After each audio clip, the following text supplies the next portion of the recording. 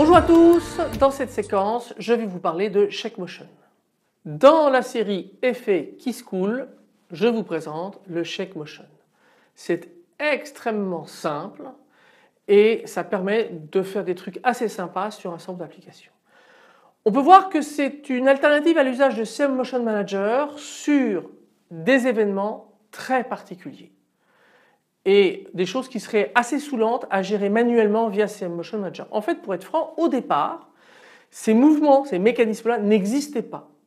Et en fait, quelqu'un a eu l'idée de le faire et les gens se sont dit mais c'est génial comme utilisation, intégrons cela dans le système parce que c'est assez compliqué à programmer. Donc c'est mis en œuvre dans une classe dédiée qui s'appelle UI Responder qui va entre autres gérer les secousses mais aussi d'ailleurs, on verra plus tard, les points de contact, les touches mais euh, ce n'est pas l'objet de cette séquence. Le principe de fonctionnement c'est que c'est un protocole intégré qui est implicite et en fait UI Application, UI View et UI View Controller en héritent.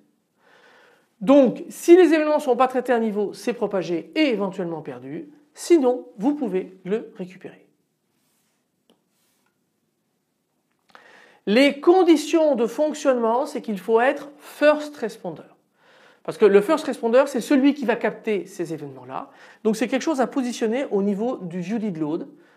Vous avez une méthode qui s'appelle become first responder et puis vous avez aussi euh, besoin de répondre à une méthode c'est can become first responder. Vous avez intérêt à dire que oui, d'accord. Et puis can resign first responder et resign first responder. Donc first, become first responder, vous devenez le premier répondeur. Resign, vous abandonnez et puis le can become et can resign vous permet de décider si à un moment donné vous acceptez vraiment d'apprendre ou d'abandonner cette position de first responder. Alors vous avez trois méthodes.